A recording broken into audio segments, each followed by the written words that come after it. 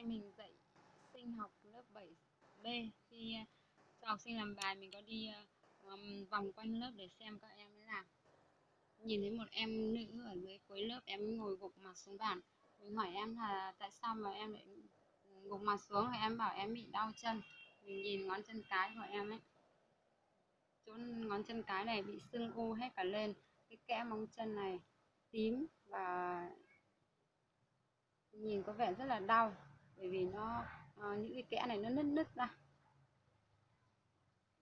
Thật sự mình cũng chẳng biết ờ, chữa nào nhưng mà um, chắc là nó nghẽn là cái mạch nào đó thôi nên là mình sẽ dùng cái bộ uh, nghẽn nhạc. Vì uh, lớp đang làm bài nên là mình có thể dạy cho em uh, các cái việt sau. Huyệt 14 ở bên tay uh, trái trước. Đây.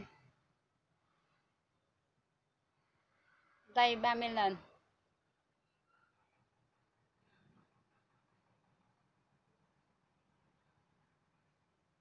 Bên phải sau. 30 lần.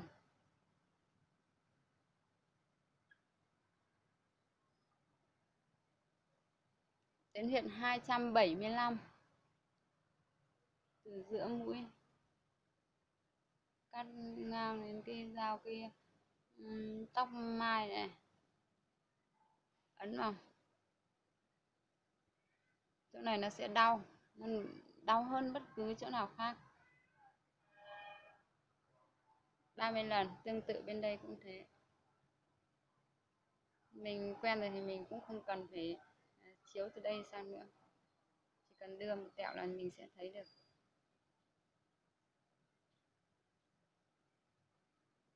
Sáu mươi mốt. Trái phải. mười chín. Ba mươi lần mỗi lần ấn là 30 lần. Xoay theo chiều kim đồng hồ nhưng mà không phải nhìn thấy thành chiều kim đồng hồ chỉ để này và dây theo chiều kim đồng hồ. Và tiếp sau đó là mình làm cái um, um, bộ cho em ấy giảm đau. Dùng giảm đau thì có 41 41 làm như sau. Ừ, huyệt này chỉ có ở bên tay phải của chúng ta. Từ cái dưới chân mũi này, chiếu thẳng sang. Là cái mép ừ, tiếp tiến mới lại ngoài con người này này. Bờ ngoài của cái lòng đen.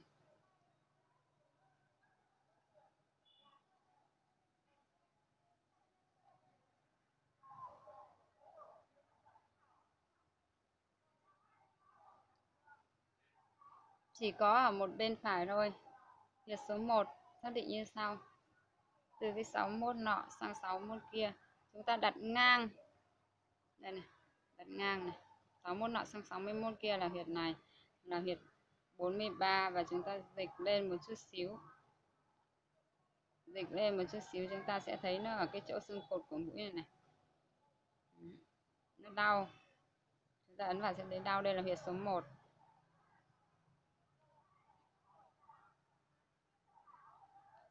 61 bên trái.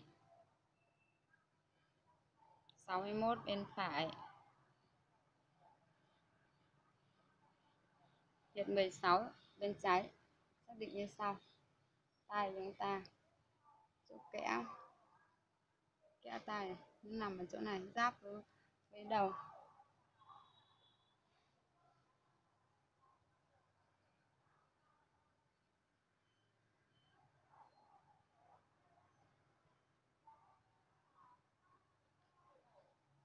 Bên phải. Ừ.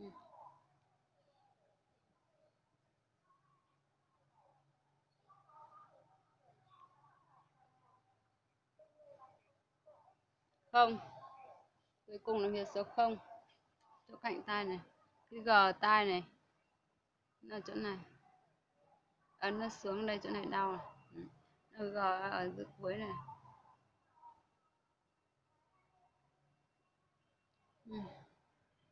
Bên phải, đây, cái gò tay chúng ta, ở dưới đây, ấn muốn xuống đau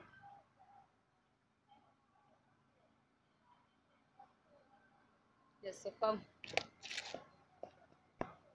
Sau đó là mình hơi trực tiếp ngón, mình đã tìm, sau đó mình còn tìm à, xem là các đầu ngón tay, ngón chân của em có đau chỗ nào không. Mình nắm nắn trên đầu, sờ trên đầu xem em có đau chỗ nào không. Không có chỗ nào đau cả mình hơi trực tiếp ngón chân.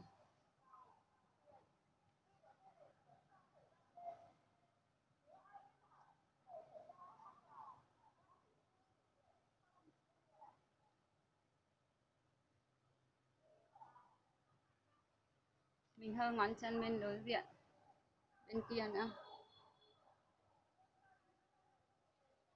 Mình hỏi em thì em hết đau